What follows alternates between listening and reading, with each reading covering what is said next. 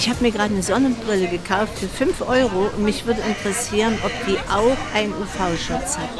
Ich habe mich gefragt, wodurch Gläser UV-Strahlung filtern können, also woher der Schutz entsteht. Auf den Preis kommt es nicht an. Auch Gläser billiger Sonnenbrillen können UV-Strahlung vollkommen ausfiltern. Ob eine Sonnenbrille einen ausreichenden UV-Schutz hat oder nicht, kann man selber nur schwer erkennen. Ein Hinweis ist das UV400-Zeichen auf der Brille.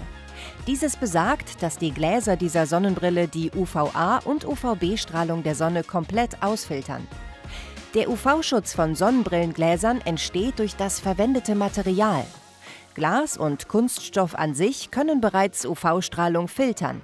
Das komplette Ausfiltern von UVA- und UVB-Strahlung wird über Beschichtungen oder Folierungen, beispielsweise mit Polyvinylbutyral PVB, erreicht. Für einen Rundumschutz ist es zudem wichtig, dass seitlich an den Gläsern vorbei keine UV-Strahlung das Auge erreichen kann. Die Sonnenbrille sollte entweder große Gläser und breite Bügel aufweisen oder, wie bei Sportbrillen, nah am Gesicht anliegen.